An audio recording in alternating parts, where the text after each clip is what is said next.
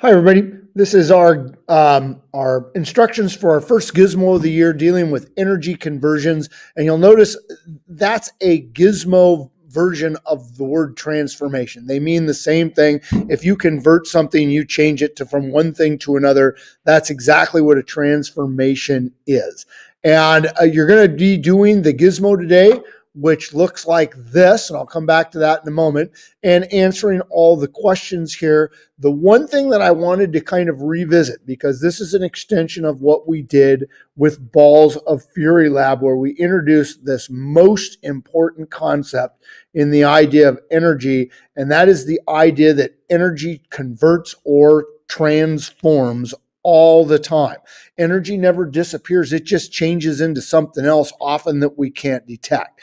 And we're going to be making a lot of energy pathways in this activity, uh, or excuse me, in a, in a lot of different activities that we'll be doing from here on out. And it's important we know what we're writing. You're going to see a lot of times where we have little spaces and the arrows in between.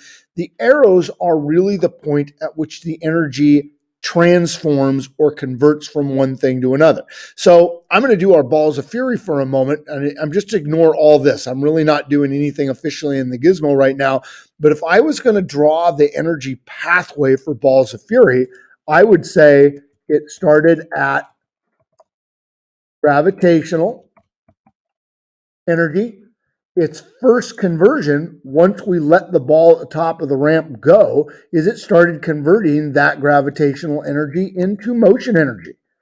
And then at the very bottom of the ramp, when we stopped the ball by running the two of them together with a piece of paper in between, we saw that that motion burned a hole in the paper and that turned this into thermal energy. So that would be how we would type out the energy pathway for balls of fury we went from gravitational to motion to thermal, and all of those little things right there means basically where it changed at. Now, when you go into our gizmo, let me erase those out of there. When you go into our gizmo, right here, you have a couple different choices. You can do the trans, uh, the information mode, which you'll want. That will answer some of the questions.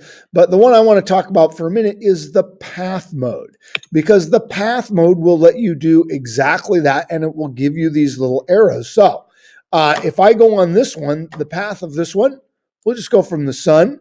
You can see it puts there, and then the sun's energies got to change for some of this stuff to work.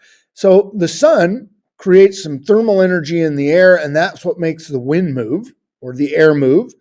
Then the air makes the turbine move, and the purpose of the turbine is to make electricity. And then the electricity we use down here in the house to run a toaster. So here we have got an energy pathway where we had energy coming from the sun that energy transformed to wind energy in the air. That energy transformed into the wind turbine moving, making electricity here. And then that electricity was used to make heat again at the toaster. So this would be an example of an energy pathway. And as a matter of fact, this is the one they give you right down here in the example.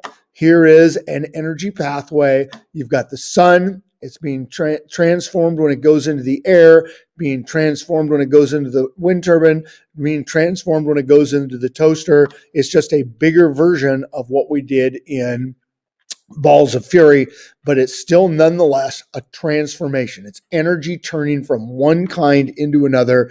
And if that seems kind of weird to you, it's because it's very weird. It took science a long time to figure out that things like the heat coming out of a toaster was really the same exact energy as the electricity going into the toaster. It was just being changed. So it's a it's a very difficult concept. So stick with it and have fun with the gizmo and we'll go over it when you're done.